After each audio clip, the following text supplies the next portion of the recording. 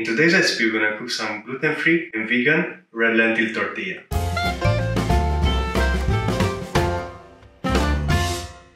Hello everyone, welcome back in the gluten-free kitchen. My name is Radu and today we're gonna cook a long-awaited recipe, a tortilla made out of just 5 simple ingredients for which we need the following. 125 grams red lentils, 400 milliliters boiling water, 100 milliliters of water, a teaspoon of salt, a tablespoon of nutritional yeast, a tablespoon of sesame seeds. And as a topping, which is optional, we're gonna use 150 grams of sliced brown mushrooms, 2 chopped garlic cloves, 2 tablespoons of gluten-free tamari sauce, some black pepper to taste, a sprig of turnip, and to serve some gluten-free hummus. And to fry the tortilla and the topping, we're gonna use a couple of tablespoons of sunflower.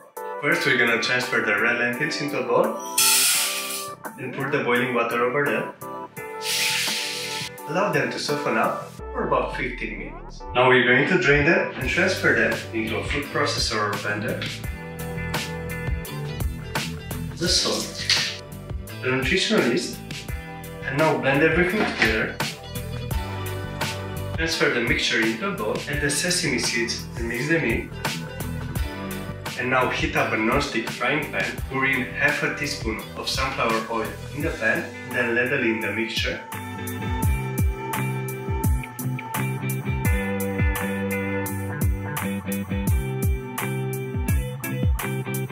And after you made all the tortillas, you're gonna clean wipe the frying pan, add a bit of sunflower oil to it, and then saute the mushrooms for about 2 to 3 minutes.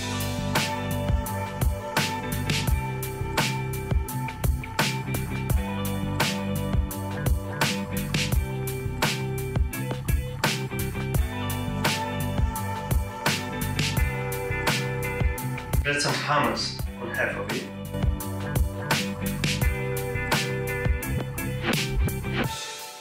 Let's give it a taste. The texture of the tortilla is absolutely amazing. It's crunchy and fluffy at the same time. I highly recommend this recipe. Don't forget to like the video and subscribe. And I'll see you next week with a new delicious gluten-free recipe. Until next time.